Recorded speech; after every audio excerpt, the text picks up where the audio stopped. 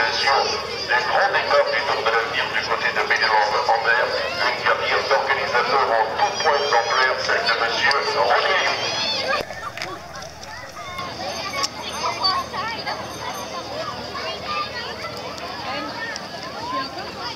Eh,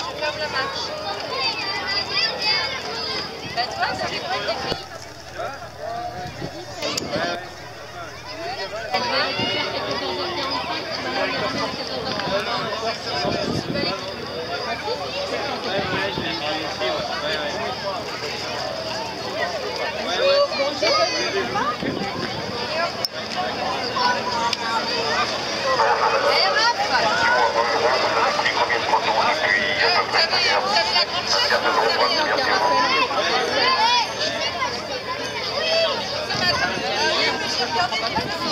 premiers